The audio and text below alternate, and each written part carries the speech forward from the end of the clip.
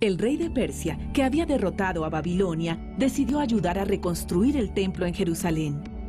Incluso devolvió toda la plata y el oro que los babilonios habían robado del templo. Antes de que el templo estuviera terminado, los israelitas empezaron a ofrecer sacrificios y a adorar a Dios allí nuevamente. La oposición continuó, esta vez de parte de un hombre llamado Tatenai, gobernador de una región cercana. Él quería impedir que los israelitas hicieran la reconstrucción e intentó convencer al rey de Persia, Darío, de que detuviera a los israelitas. El rey Darío no solo no detuvo el proyecto de reconstrucción, sino que amenazó de muerte a Tatenai y a todo aquel que quisiera impedir que el templo fuera reconstruido. Así que la obra continuó, y casi 70 años después de que hubiera sido destruida, los israelitas terminaron de reconstruir el templo. Dios era nuevamente adorado en Jerusalén.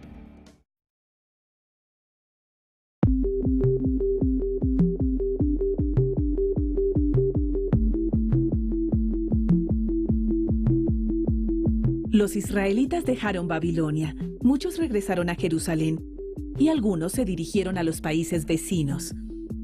Un israelita llamado Mardoqueo se mudó a un país llamado Susa con su hija adoptiva Esther. Al estar allí, el rey de Susa, Asuero, buscaba una mujer para que se convirtiera en reina. Mujeres jóvenes de todo Susa, incluso Esther, fueron llevadas a vivir al palacio del rey y pasaron un año en tratamientos de belleza antes de que el rey hiciera su elección.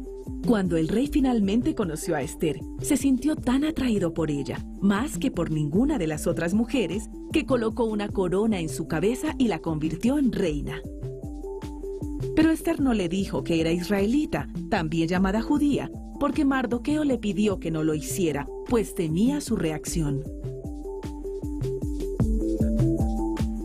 El padre de Esther, Mardoqueo, estaba sentado cerca de las puertas de la ciudad y escuchó a dos funcionarios del rey que planeaban matarlo.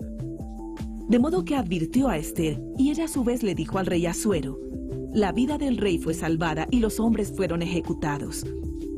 Poco después, el rey Asuero ascendió a uno de sus hombres, llamado Amán, a una posición más alta que la de los demás funcionarios ordenó que todas las personas se postraran cuando Amán entrara cada día por la puerta del rey, pero Mardoqueo no lo hizo. Cuando Amán vio esto, se puso furioso y se enfureció más aún cuando algunos de sus funcionarios le contaron que Mardoqueo era israelita. Así que buscó una manera de matar no solo a Mardoqueo, sino a todos los israelitas que vivían en Susa. Convenció al rey Asuero de aprobar una ley que dijera que todos los israelitas que vivían en la región fueran muertos en una fecha específica, porque ellos no seguían las leyes del rey. Cuando Mardoqueo se enteró de la ley, rompió sus vestiduras y lloró amargamente. Convenció a Esther de presentarse ante el rey, revelar que era israelita y pedirle que le perdonara la vida a su pueblo. Pero había un problema. Nadie, ni siquiera la reina, podía presentarse ante el rey si no era invitada por él. De otra manera se arriesgaba a morir. Pero Esther fue valiente y se acercó al rey. Él le dijo, ¿cuál es tu petición? Ella respondió que quería que el rey hiciera un gran banquete y se cerciorara de que Amán, el hombre que quería matar a los israelitas, asistiera. En el banquete ella le diría cuál era su petición. Cuando llegó el día, todos, incluso Amán, asistieron. El rey le preguntó a Esther qué era lo que ella quería ella reveló que era israelita, una judía, y rogó por su propia vida y por las vidas de su pueblo. El rey se enfureció contra Amán, que lo había convencido de crear la ley. Lo mandó a arrestar y a ejecutar. Luego, no solo eliminó la ley para matar a los israelitas, sino que les dio protección y derechos a todos los que vivían en la región. Por la valentía de Esther, a los israelitas se les perdonó la vida e incluso también fueron honrados.